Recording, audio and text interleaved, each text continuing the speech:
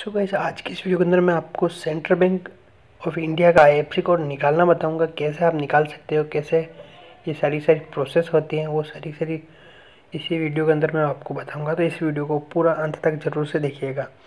Central bank का आई code निकालने के लिए आपको ब्रांच का पता होना चाहिए कि आपकी कौन सी ब्रांच है। तो आपको पता होना चाहिए, आपको आ जाना है क्रोम ब्राउज़र के अंदर। सारे के सारे ओपन कर लेने और यहाँ पे आपको सर्च करना है सेंट्रल बैंक ऑफ़ इंडिया का। यहाँ पे। Central bank of India IFC code IFC code और आगे आपको ब्रांच का नाम डालना है। जैसे कि यहाँ पे जयपुर है, बूंदी है, जोधपुर है। आपकी जो भी ब्रांच हो, वो आपको ब्रांच डाल देना है। मैं यहाँ पे जयपुर डाल देता हूँ। जयपुर का निकाल के बता देता हूँ आपको। यहाँ पे देख सकते हो जयपुर का यहाँ पे आई कोड आ चुका है।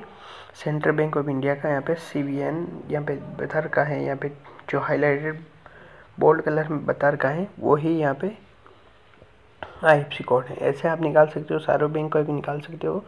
वेबसाइट के अंदर जाके आप पूरा पूरा यहाँ पे निकाल सकते हो कि कौन कौन से ब्रांच का कौन सा आई कोड है। तो ये आप यहाँ पे निकालने के लिए ये प्रोसेस इतनी है। तो आई होप ये वीडियो आपको पसंद आया होगा। पसंद आए तो वीडियो को लाइक करना। चैनल पर नहीं हो तो चैनल को सब्सक्राइब ज़रूर से कर देना फ्रेंड मिलते हैं ऐसे इंटरेस्टिंग और नॉलेजफुल वीडियो के साथ. तब तक के लिए जय हिंद, जय भारत.